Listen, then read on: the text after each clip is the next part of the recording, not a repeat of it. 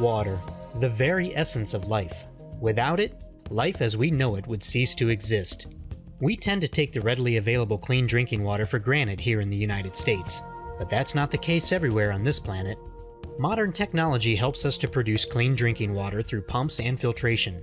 But what do you do in a remote location, or in the event of a natural disaster where electricity or fuel is not available to run a conventional high pressure or high volume pump?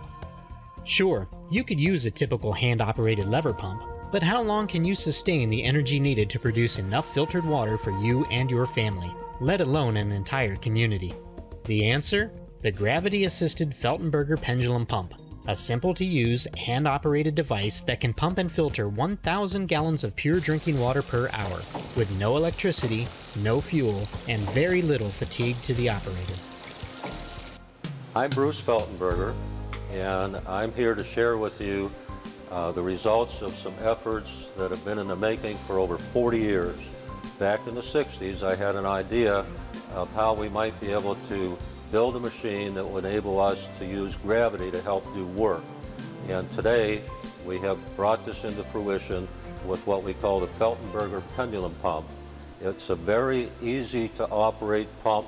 It's operated manually is uh, designed to go into areas where there's no electricity or fuel available. And in this case, we're sending it down to Haiti to help make clean drinking water. It's hand operated and it pumps a lot of very clean water. Very happy to share that with you.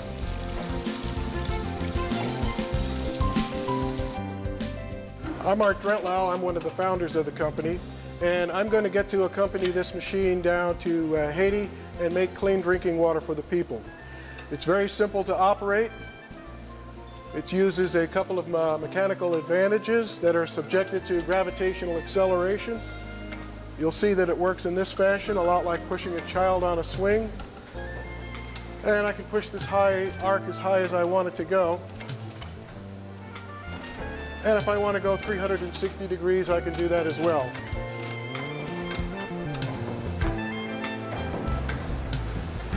And it's continuing to pump while I do that.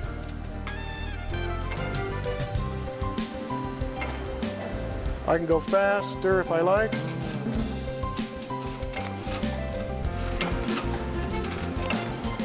And it'll pump in both directions.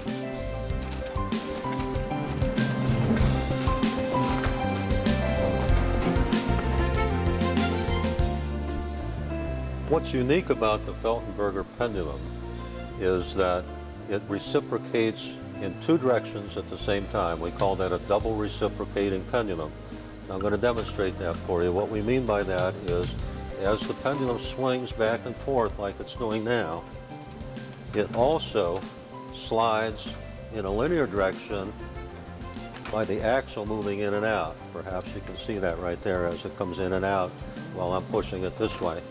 And the benefit that we have from doing that is that it produces a linear straight line motion that we connect to a uh, reciprocating pump for pumping water.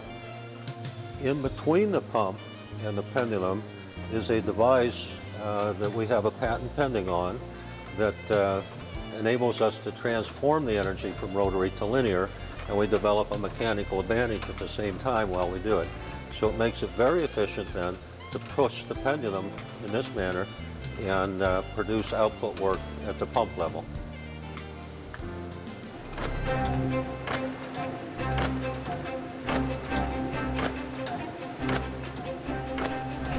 Hello, my name is Matthew Buttrick. In this area of the machine, we have a device which converts the rotary motion of the pendulum into a reciprocating motion, which drives a piston pump which allows us to filter a thousand gallons of dirty water and produce clean drinking water an hour from a stream that you would find near a road or in the back of a farmer's field. Now we'd like to show you the prototype machine.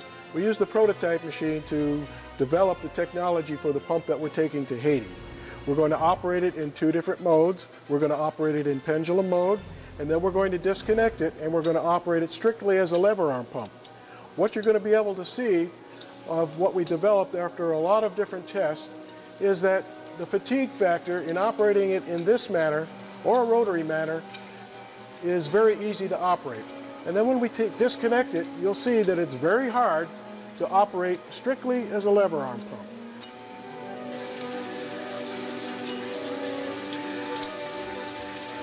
And now you can see that we've disconnected the piston drive arm from the pendulum pump, and we have the pump set up strictly as a lever arm pump. It's interesting to note that the lever arm is 16 inches long, which is the same setting that we had on the pendulum pump. It's also interesting to note that when I pull the lever arm back and forth, we're going one inch.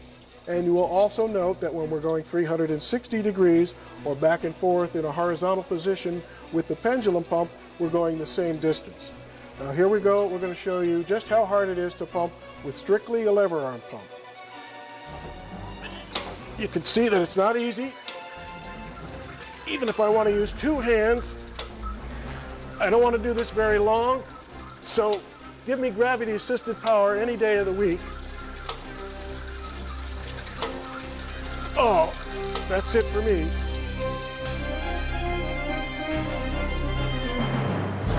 I'm standing now on the work platform of our largest pendulum machine.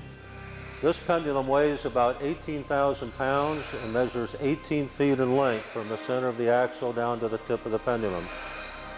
With this machine, we hope to demonstrate that gravity-assisted power can produce commercial-grade electricity uh, at about twice the efficiency that's currently found in most power plants.